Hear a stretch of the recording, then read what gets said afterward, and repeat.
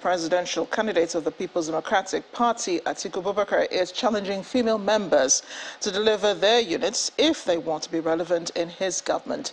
The former vice president threw the challenge at the inauguration of the PDP Women Campaign Council in Abuja. He said the party wants the women to be actively involved in the electioneering process and help the PDP identify talents among them who will be part of his administration if he wins next year.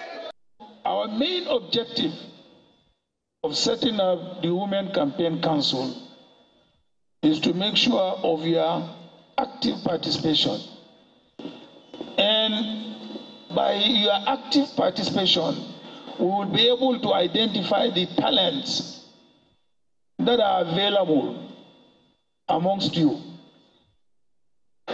So, PDP women, I am challenging you provide that leadership.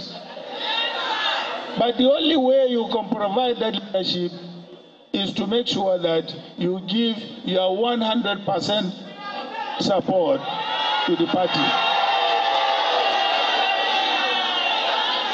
It is not mere ceremony of inaugurating this campaign council.